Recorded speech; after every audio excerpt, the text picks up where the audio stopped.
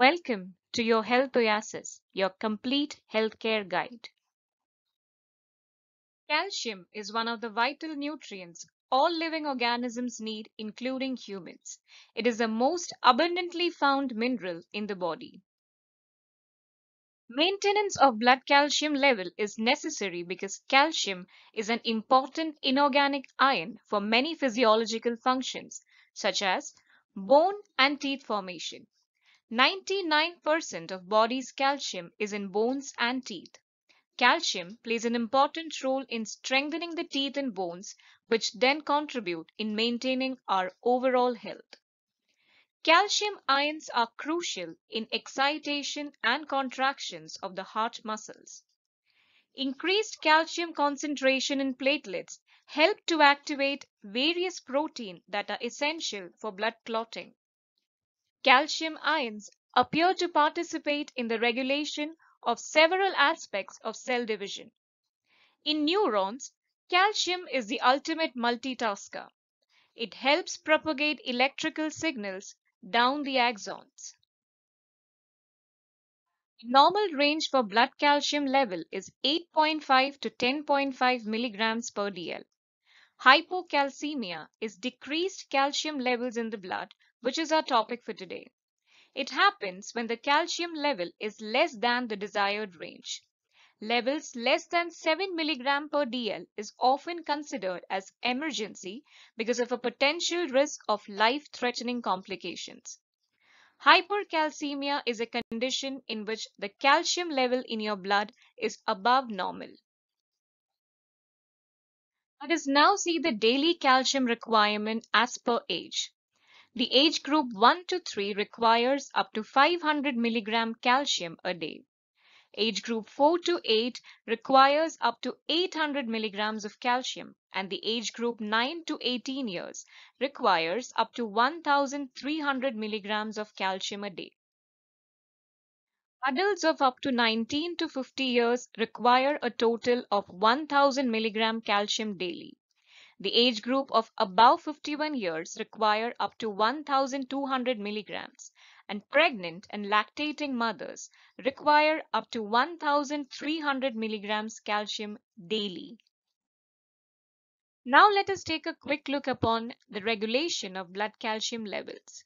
Calcium metabolism is regulated mainly by three hormones. First and the foremost one is parathormone, also called PTH. Parathormone is a protein hormone secreted by parathyroid gland and its main function is to increase the blood calcium levels by mobilizing calcium from bones.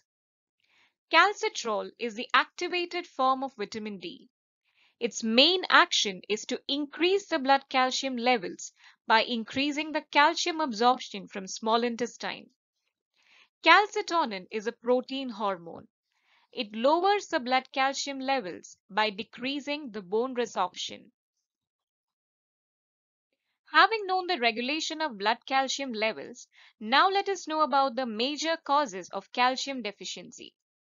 Decreased levels of parathyroid hormone in blood that could be due to surgical removal of parathyroid or thyroid glands or deficiency of receptors for parathormone in the target cells is one of the primary cause of calcium deficiency. Vitamin D is very essential for calcium absorption from the gut. Again, parathyroid hormone is essential in the activation of vitamin D. Kidney failure causes calcium deficiency due to decreased renal production of vitamin D. Magnesium is required for the production and release of parathyroid hormone. So decreased magnesium levels in blood leads to insufficient parathyroid hormone, which ultimately leads to low blood calcium levels.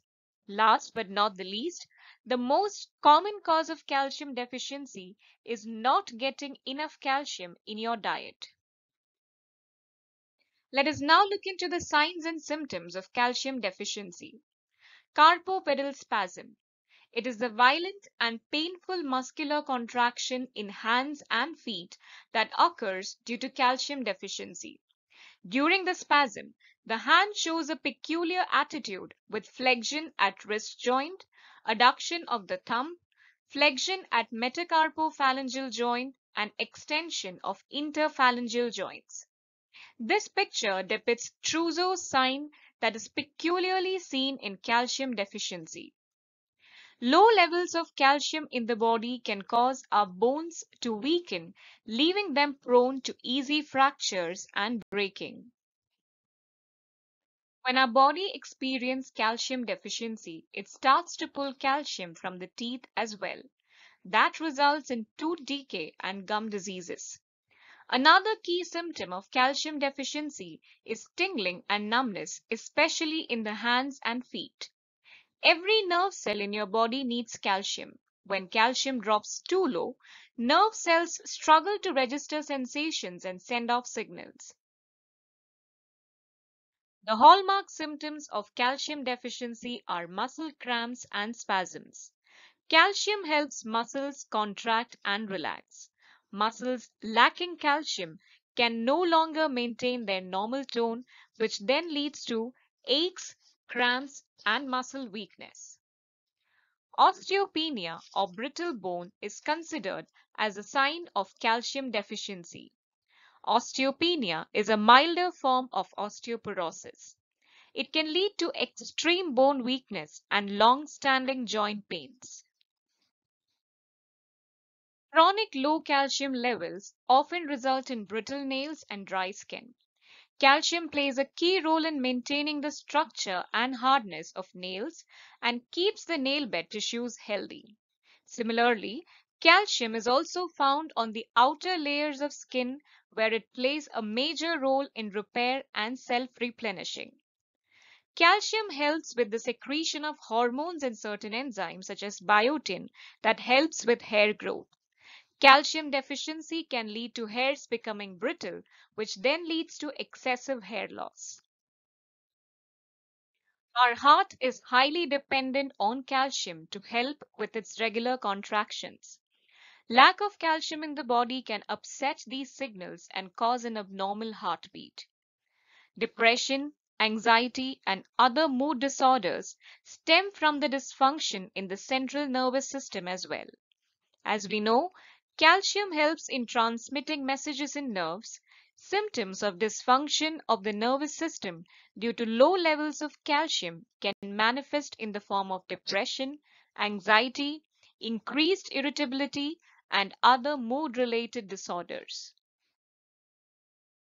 Now let us discuss about the top 10 rich and easily available dietary sources of calcium. Milk is one of the best and most widely available sources of calcium. One cup of about 200 ml of milk gives you approximately 300 to 325 milligrams of calcium. Low-fat milk has a higher concentration of calcium content by weight than whole milk. Fishes, especially sardines and salmons, are loaded with calcium. Sardines are a great source of iron and calcium. 100 grams of sardine fish can provide you with up to 380 to 400 milligrams of calcium. Yogurt is an excellent source of calcium. They are also rich in probiotics, a type of beneficial bacteria that can promote immune function and enhance nutrient absorption. 100 gram of yogurt can provide you with about 110 milligrams of calcium. Among all nuts, almonds are the highest in calcium. 100 grams of almonds contain about 260 to 270 milligrams of calcium.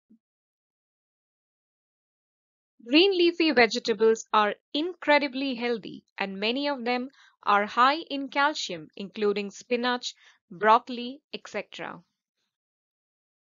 Most cheeses are excellent sources of calcium.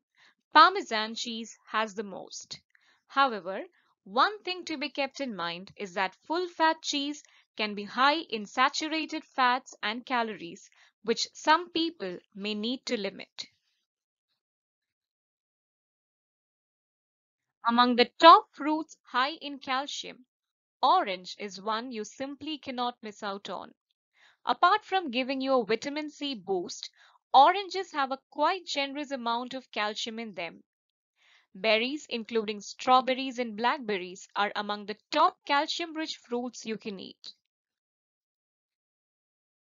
Chia seeds are tiny nutritional powerhouses of calcium and numerous other nutrients.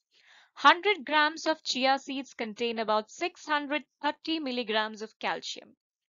Let's make it simpler. 3 tablespoons of chia seeds will have more calcium than 1 glass of milk.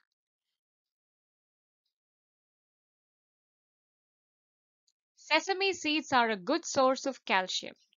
100 grams of sesame seeds can give you about 975 milligrams of calcium.